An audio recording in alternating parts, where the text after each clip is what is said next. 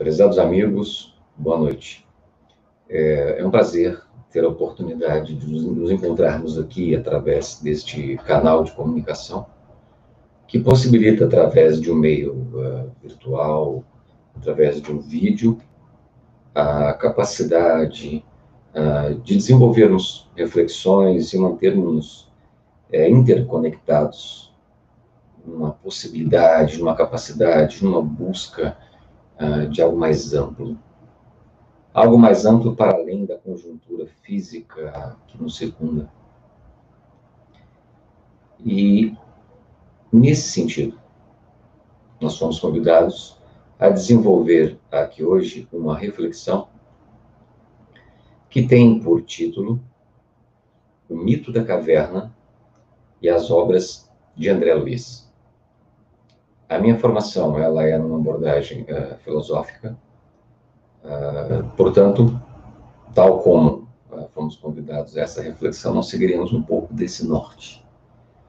Talvez muitos se perguntem, mas por que desenvolver uma reflexão filosófica, uma vez que estamos a, a promover uma análise e um elemento doutrinário com uma tônica religiosa, no sentido mais amplo da palavra, mas é importante remetermos a algumas obras da codificação, obras estruturais, tal como o Evangelho segundo o Espiritismo, em que, na introdução, a partir do tópico quarto, nós temos é, citações é, feitas por Kardec, demonstrando é, as premissas fundamentais do pensamento de Sócrates, do pensamento de Platão, como precursores da ideia cristã, como precursores, portanto, é, do próprio Espiritismo. Que você pode perceber é, no Evangelho segundo o Espiritismo, justamente nesse tópico que faço a, a menção, quando Kardec afirma categoricamente: o homem chegou a um ponto em que a luz emerge por si mesma, de sob o alqueire. Está maduro bastante para encará-la. Tanto pior para os que não ousem abrir os olhos.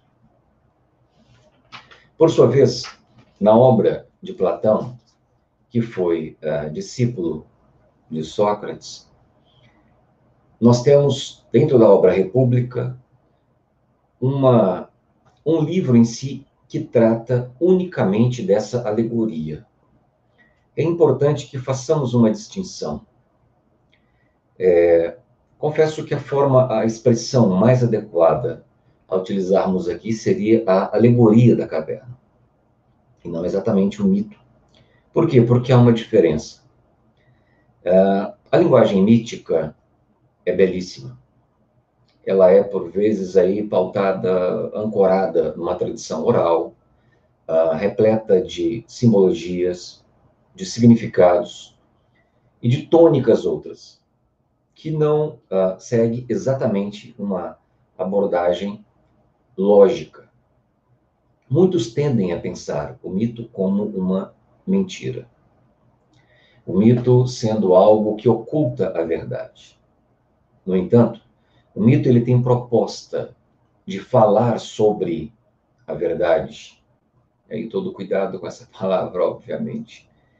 Ele tem a intenção de falar sobre a verdade. A, a intenção, ela, ela é profunda, mas não necessariamente a razão consegue elaborar. E nós temos, desde a gênese de nossa cultura ocidental, na Grécia Antiga, os inumeráveis mitos que interrelacionavam-se com os elementos da natureza, os elementos uh, da vida comum, tentando explicar e dar sentido a esses elementos. Tal como a nossa Via Láctea, né, a via do leite, o caminho do leite, que está pautada exatamente numa arcaica mitologia grega, cheia de sentido. E aí vai aí a dica para os interessados a pesquisarem o mito da, da nomenclatura, né, que deu origem à denominação da nossa galáxia, da Via Láctea. É, cita esses elementos para percebermos que o mito ele tenta citar, comentar, trabalhar alguns elementos. No entanto, ele não tem condições lógicas profundas é, para devassar esses elementos que ainda são tanto quanto distorcidos à compreensão mais profunda. E assim, a alegoria, que está presente também dentro da abordagem mítica, ela é exatamente uma expressão mais leve. Ela é uma expressão, portanto, floreada, alegórica, figurativa, uh, simbólica. Ela compõe, sim, a abordagem mítica. Mas o mito ele pretende sempre transmitir, então, é, uma, um conhecimento, uma, um princípio ou uma tradição de saberes. Nesse sentido, volto ao que dizíamos, a alegoria da caverna de Platão, o filósofo ele lida com o imaginário, supondo indivíduos trancados dentro de uma caverna e que, de certa forma, um desses consegue é, libertar-se dos grilhões que o atavam àquela circunstância desde seu nascimento. Portanto, tudo que ele conhece são nada mais do que sombras projetadas ao fundo de uma caverna. E ele consegue, então, soltando-se desses grilhões, ir para fora daquele ambiente uh, úmido e escuro. Obviamente que a luz vai ofuscar seu campo de visão. Mas depois de um pouco de sofrimento, de desconforto, ele se adequa, ele consegue se adaptar à luminosidade e consegue então ver cores até então nunca vistas, formas nunca percebidas. E ele fica espantado com tudo aquilo. A sua consciência é, política, ou seja, a sua vinculação com os demais que estavam naquele mesmo ambiente, faz com que ele se veja uh, conclamado, portanto, desejoso de voltar e convidar esses indivíduos a saírem das sombras que os atavam a uma imagem é, simplória, reduzida do que seria, portanto, um mundo mais amplo. E assim, para espanto dele, ele sofre é, muitas afrontas, correndo inclusive ah, um perigo de vida, de saúde física, pois o chamavam de louco, um sujeito efêmero, que foi contaminado, contagiado e está, portanto, aí ah, baseado na loucura, na insanidade. Bom, na obra Libertação, de André Luiz, pela pena de Francisco Cândido Xavier, nós temos na introdução da obra um comentário, uma abertura, poderíamos dizer, um prefácio de Emmanuel, e para ser mais preciso, datado em 22 de fevereiro de 1949, que tem por título este, essa introdução, esse prefácio, Ante as Portas Livres. Aí é feito uh, uma correlação uh, com a alegoria da caverna, e é demonstrado uh, como um indivíduo consegue sair de um determinado patamar em que se encontrava, acreditando que o mundo se resumia exatamente onde ele sempre esteve. E não é pouca a surpresa uh, quando ele consegue perceber que o mundo é muito maior. E assim, da mesma forma, ele retorna aos seus, poderíamos dizer, compatriotas, e os chama. Vamos conhecer. E nessa introdução, os personagens, simbolicamente ali, são peixes de um determinado uh, reduto d'água. E para conseguirem sair daquele lugar, era preciso que fizessem alguns exercícios. Exercícios de mudança de comportamento, pois muitos deles estavam já é, bem gordinhos e não conseguiriam passar por uma fresta, onde permitiria ter acesso a um curso d'água e seguir para amplitudes muito maiores do que a região simplória, cômoda em que se encontravam. E não é de espantar também nós temos aí nessa introdução, nesta abertura, nessa correlação, que os peixes que estavam naquela localidade também não simpatizaram com a proposta, se viram ofendidos. É um absurdo. O que existe é exatamente isso que percebemos. Você está iludibriado, você está ensandecido. É, por que essa correlação? Alegoria da caverna, as obras de André Luiz, fazendo, portanto, uma interconexão com a nossa vida cotidiana. Se nós pensarmos e perguntarmos a qualquer indivíduo o que é o mundo, nós nos veríamos a, a afirmar que o mundo é aquilo que eu vejo, é aquilo que eu percebo, é aquilo que é, uh, pode ser capturado pelos meus sentidos. Tato, olfato, visão, paladar, uh, audição, enfim, aquilo que eu posso captar. E aí, eu te chamo a pensar comigo uma coisa. Se você, em correlação com uma criança, numa tenra idade, digamos 5, 6 anos, se colocando a observar o Sol, a nossa estrela maior, uh, observando que nós temos o leste, o oeste, o nascente, o poente. Numa observação de um dia, você perguntaria a essa criança: quem se move? É o sol ou é a terra? A criança, levada pelos seus sentidos mais básicos, de percepção, sem dúvida alguma, ela iria dizer: quem se move é o sol. E você diria a ela: não, não, não é o Sol que se move. É o nosso planeta que ele tem uma movimentação. Obviamente, você usaria as linguagens simbólicas e alegóricas tão próprias da faixa etária de uma criança. Mas, enfim, você tentaria explicar. E seria um tanto quanto difícil para essa criança aceitar a sua explicação. Porque isso conflita com aquilo que os olhos e a percepção imediata dela traz. Como assim eu tenho que acreditar em algo? A Terra se movimenta, eu não percebo movimentação alguma. Por mais que pareça simplória essa reflexão, eu te convido a perceber é, a força dessa inter-relação com a nossa vivência íntima. Assim como é conflitante a consciência, a dimensão cognitiva de uma criança compreender algo e será é, divergente da sua percepção imediata, difícil não é compreender algo que vá para além da experiência sensorial de vida, de cotidiano que nós experimentamos. Quando nós encontramos nas obras uh, de André Luiz inumeráveis relatos, uh, demonstrações, explicações sobre a denominação, o plano espiritual.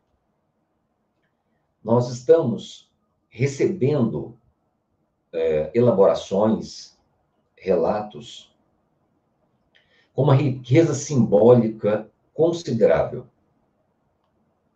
Por que eu digo riqueza simbólica? Porque nós não podemos levar todos os únicos elementos numa abordagem literal. A literalidade, ela peca contra a capacidade racional e reflexiva. É bem cômodo nos ancorarmos na literalidade, porque eu posso apontar o dedo e dizer, não, aqui está escrito assim. É mais fácil, é mais cômodo.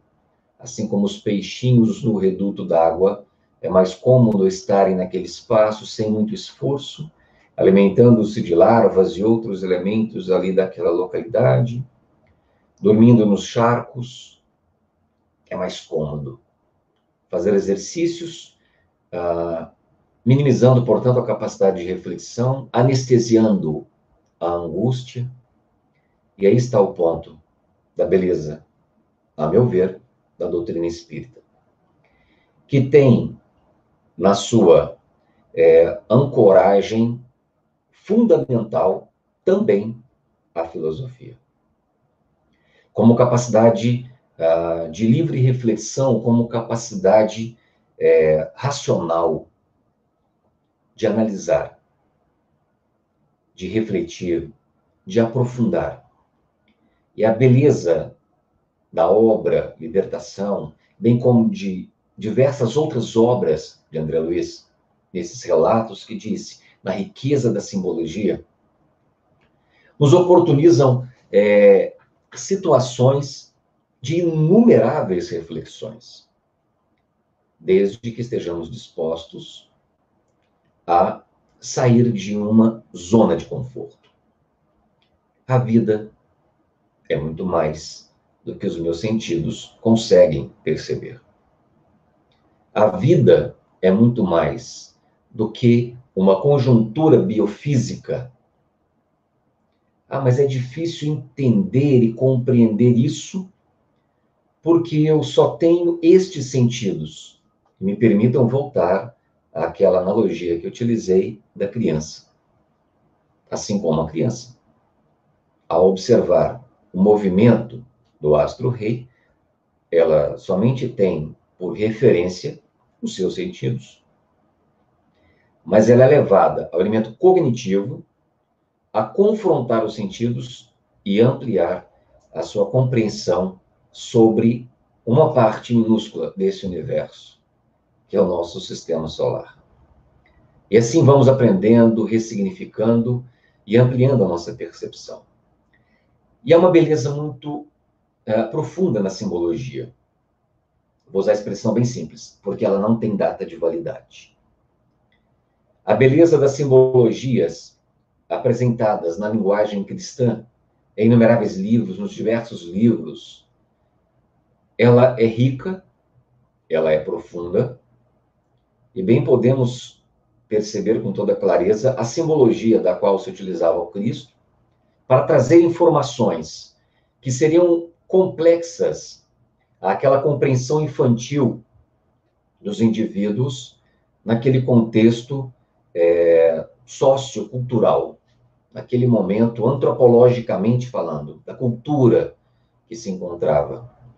E o Cristo se servia justamente de modelos é, da cultura patriarcal, Deus é pai. Ele se usa e se serve de elementos da criança, da infância. Ele se serve da figura do pai, que é protetor, que acolhe, tal como na expressão da parábola do filho pródigo, para mostrar que o Deus, que a divindade, a deidade, que Deus é amor, é ágape, que está numa dimensão muito uh, mais significativa do que a nossa percepção mais imediata. Enfim, a riqueza da simbologia, repito, não tem data de validade. E assim, quando eu tenho uma percepção, eu a trago a partir do meu campo de referência, a partir de, de minha base cultural. E isso é perfeitamente compreensível. Assim como uh, no relato de inumeráveis médiums em percepções uh, extrasensoriais, em percepções uh, espirituais, a tônica ela é trazida a partir da base cultural em que nos encontramos. E o professor Hippolyte Léon Denisard Rivail, conhecido como Allan Kardec, nos ensinou a usar a capacidade reflexiva uso a expressão lógico-reflexiva, como professor de matemática que era, a analisar elementos e verdades que estão prontas, dadas e constituídas, para que possamos ampliar o nosso campo de reflexão. E muito antes de nos engessarmos em estruturas arcaicas e até, diríamos, pré-estabelecidas, é ter a capacidade de se esforçar para compreender, ampliar, sem a vaidade de uma dimensão cognitiva que tenha uma pretensa ou a pretensão de conhecer algo que está, por vezes, muito além de sua capacidade. Me vem à mente a, a imagem de um arco-íris. A beleza de um arco-íris, apresentando-se nas suas cores, o indivíduo que não tivesse um conhecimento básico, ele olharia ah, para esse fenômeno e desejaria conhecê-lo mais. E tentaria se aproximar do fenômeno. Se aproximar fisicamente. Chegar próximo do fenômeno. E eis que, para o espanto dele, quanto mais ele tenta se aproximar, a mesma distância também é, permanece. Justamente por quê? Porque é um fenômeno óptico. Eu uso esse exemplo para percebermos como há elementos que estão muito além de uma mera compreensão imediata. É preciso esforço, é preciso dedicação, é preciso ah, aprofundamentos inúmeros. Assim como, nesse exemplo, se o indivíduo quiser conhecer o fenômeno do arco-íris, ele precisará inevitavelmente estudar a óptica, entender que ali o que se dá é nada mais do que a refração de cores que estão em ondas que não podem ser percebidas pelo nosso campo de visão uh, comum, que elas conseguem se, se dividir pelas gotículas de água, acontece, portanto, essa refração, e o que todas as sete cores que estão contidas dentro da luz branca não são percebidas. Mas com a refração, as ondas se subdividem e a gente consegue vê-las justapostas. E por que da formação do arco no arco-íris? Porque a Terra não é plana. é... E assim, uso essa referência é, do arco-íris para percebermos o quanto de conhecimento já está por detrás desses saberes.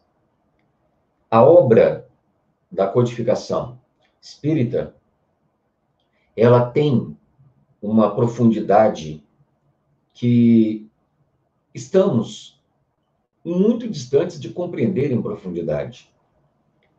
Eu não digo isso meramente por demagogia ou para ovacionar, não, mas para dar o crédito. É preciso compreender o esforço que foi o trabalho de Allan Kardec ao reunir, por exemplo, dentro da obra uh, do Livro dos Espíritos, um aglomerado de informações aparentemente desconexas e sem sentido, e dar a elas uma coerência lógica e racional.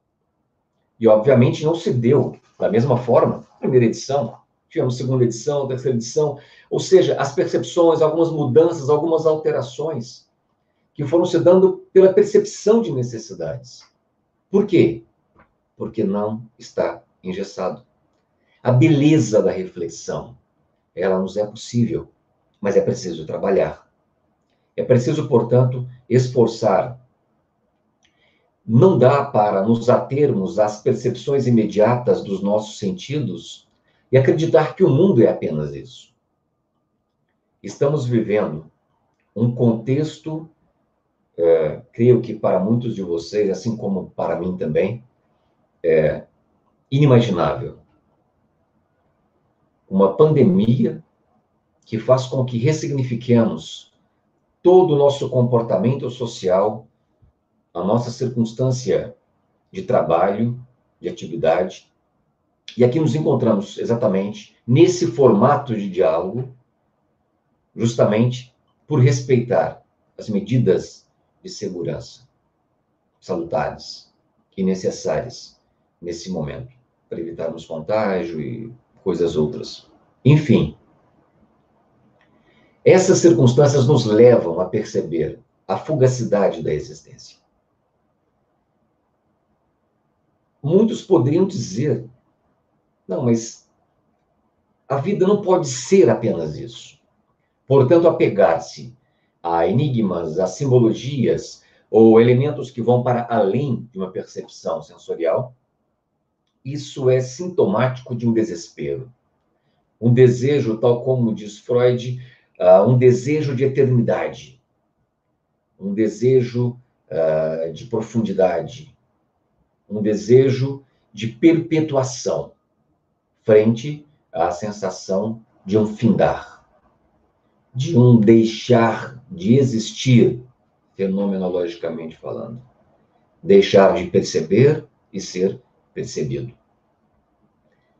Mas não estamos aqui a falar de simbologias como uma linguagem aberta que nos convida uh, a essa reflexão.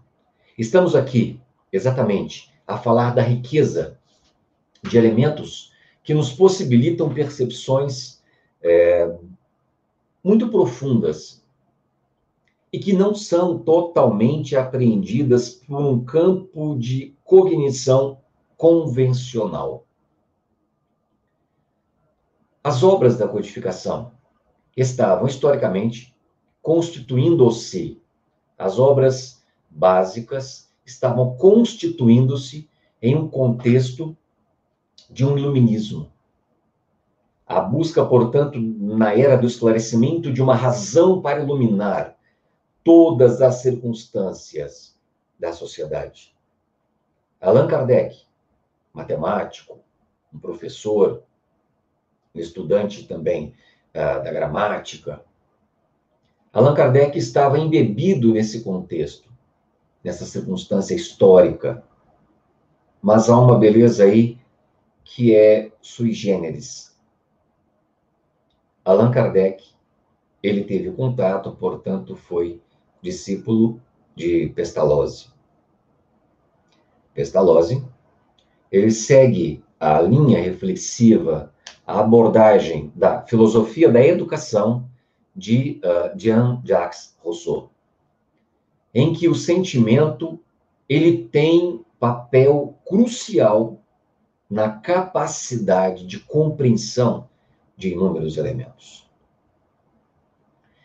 Nas obras de André Luiz, nós encontramos inúmeros relatos de situações uh, pautadas em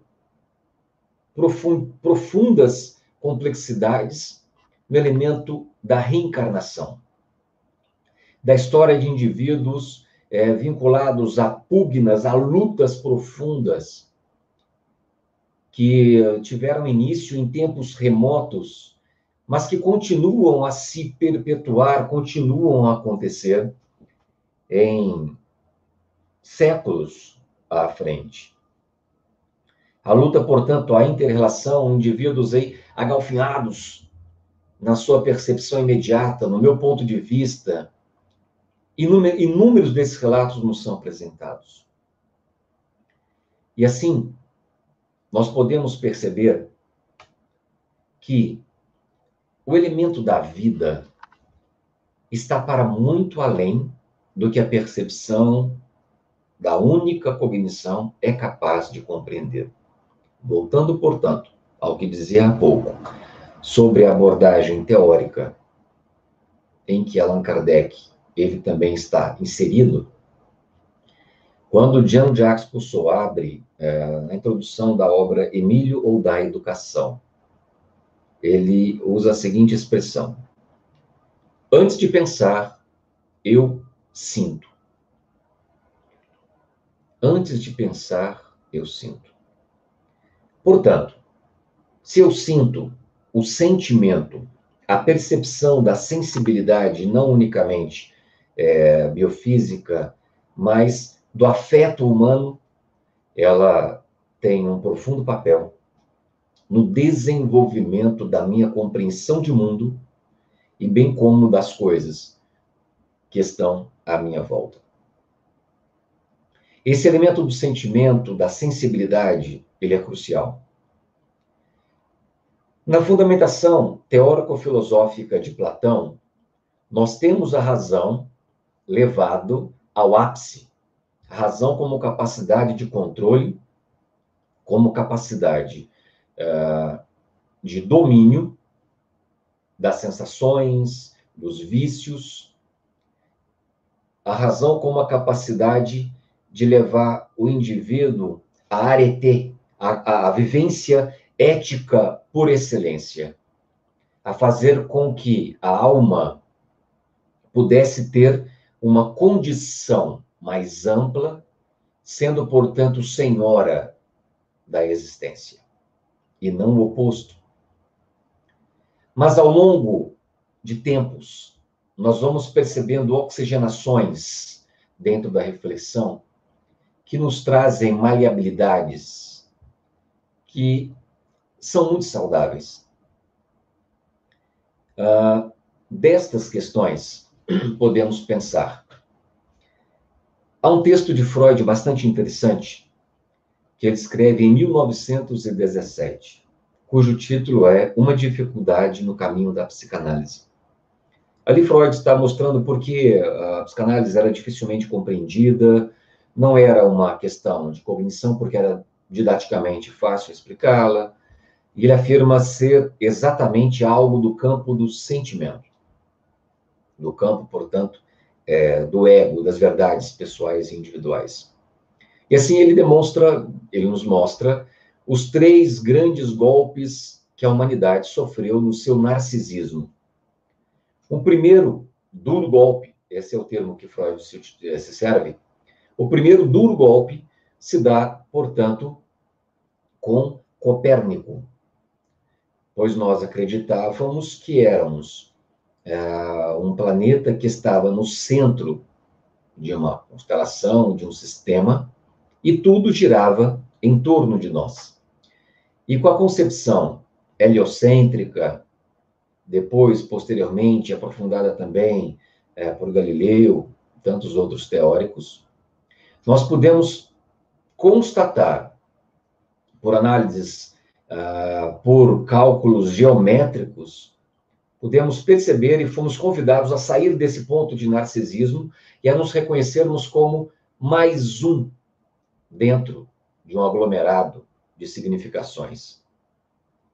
A percebermos que não podíamos mais falar de centro, pois falávamos de um universo numa amplitude inimaginável e nós não estávamos sendo, portanto, circundados por todos. Nós não éramos o centro do universo. Fomos convidados a nos desalojarmos dessa postura uh, egóica, narcísica. O segundo duro golpe, Freud atribui à compreensão do evolucionismo de Charles Darwin, onde nós nos acreditávamos sermos o ápice da criação. Os seres criados diretamente pela deidade, portanto, os queridos e preciosos. Não estou desconsiderando que não sejamos, mas é preciso entender isso numa complexidade muito mais abrangente. Pois a teoria da evolução demonstra que somos seres da natureza. E isso nos foi muito importante pois nós nos percebemos como integrantes de todo um ecossistema. Diferentemente de um contexto da modernidade, como Francis Bacon, que desejaria, portanto, com a força da lógica, fazer com que a natureza gritasse os seus segredos. Assim, nos colocando naquele contexto fora de todo um elemento, de uma constituição uh, ambiental. Agora, nós nos percebemos, humanamente falando, dentro desse sistema. E nós, por vezes, sofremos inumeráveis efeitos é, do que nós ocasionamos, causamos à natureza. Portanto, fomos convidados a repensar que a beleza da doutrina espírita nos traz informações de elementos evolutivos no universo, portanto, é, vegetal, animal, mineral, até chegar ao elemento da razão no hominal. E o terceiro duro golpe é atribuído, por fim, ele vincula isso à psicanálise, por ela confrontar uma concepção cartesiana, ou seja, é, penso logo sou. Eu, a minha razão não é ela a detentora da plenitude a totalidade do conhecimento. Há elementos aí que fogem à minha compreensão cognitiva, tal como o sentimento e percepções outras. Eu cito esse elemento para percebermos que as obras de André Luiz, por vezes, provocam em nós determinados impactos, mas que nos convidam a aprofundar estudos, a refletir, a entender que é muito importante que saiamos de uma zona de conforto, pois de uma maneira simbólica, de uma maneira análoga, são relatados, apresentados, descritos, uh, trazido, trazidas informações sobre a vida, a continuidade da existência em planos dimensionais é, distintos, e a gente é, bate cabeça por vezes a entender o que é plano espiritual, o que é céu, é lá, é aqui. Não estamos falando de dimensão espaço-temporal, estamos falando de dimensões que coexistem, que se interrelacionam. Não estamos, dentro da doutrina espírita, trazer, a buscar, a trazer, a desenvolver uma reflexão simplória, mas a buscar elementos que possam arejar a nossa reflexão e perceber que as outras culturas e perceber que os determinados outros elementos simbólicos cheios de significado também têm as suas verdades. E eu estou convivendo com todas estas outras verdades. E não seria saudável que eu me entendesse como o mais sábio de todos. Eu retomo, portanto, as expressões do antigo Sócrates de Atenas. Só sei que nada sei. Se nós nos acreditássemos sermos detentores de um saber, aqueles que vão é, puxar à frente a evolução da humanidade, nós não conseguiríamos tal feito. Porque a arrogância seriam chumbos em nossos pés. É, portanto, usar, é fundamental e é importante usar de nossa sensibilidade, de nossa afetividade, para buscar as interrelações. E os elementos da reencarnação, relatados em tantas obras de André Luiz, nos mostram que a, a correlação do campo de afeto é o que possibilita a mudança de perspectiva. Portanto, é muito importante que saiamos de nossa zona de conforto para buscarmos medidas que sejam capazes de ultrapassar a minha percepção cognitiva imediata e a minha percepção sensorial mais básica para entender também pelo coração diversos outros elementos que nos conclamam à mudança de nós mesmos. Pois o mundo terá uma rota paulatinamente desenvolvida, mudada e alterada, também com a alteração das consciências. E assim, a alegoria da caverna de Platão nos mostra a condição, o exercício, o esforço para sairmos das trevas da ignorância. E que possamos ter essa coragem, essa ousadia de confrontar a nós mesmos, sem empáfia, sem arrogância, sem a pretensão adoecida de desejar conhecer mais, não. Cada qual seguindo a tônica que manda o próprio coração, encontrando-se, contribuindo com a obra da evolução da humanidade, seja dentro da doutrina espírita, seja dentro de outras ressignificações religiosas, simbólicas, mas acima de tudo, sejamos irmãos, sejamos fraternidade, sejamos uma humanidade. Eu vou deixar aqui a dica de um filme baseado num romance do Carl Sagan, que tem por título Contato, com a Judy Foster. Fica aí a dica para que possam assistir, brincando aí com essas expressões aí astronômicas uh, do universo. Nós vamos, sem nenhum spoiler, mas na obra é possível perceber como a ciência tenta ler aquilo que a razão imediata não consegue, como a religião interpreta esses elementos. Portanto, a simbologia, a poesia, é esse elemento da alma humana que nos possibilita respirarmos, arejarmos a nossa compreensão mais profunda. Abramos-nos, portanto, às reflexões. E eu agradeço a atenção de vocês que estiveram conosco nessa pequena abordagem. Vocês podem ver no link que está escrito abaixo o meu nome, a EFOS, que é o nome da Associação Espírita de Pesquisas em Ciências Humanas e Filosofia. Em breve, muito em breve, nós apresentaremos aí alguns cursos de estudo em filosofia. Caso você sinta-se interessado, entre em contato no nosso Facebook, no site, para que você possa acompanhar conosco esses estudos filosóficos nesse momento de pandemia, refletindo sobre a angústia e as dimensões do humano. Portanto, repito mais uma vez os meus agradecimentos, deixo aqui a minha gratidão e estejamos sempre juntos nesse elemento de fraternidade, de humanidade.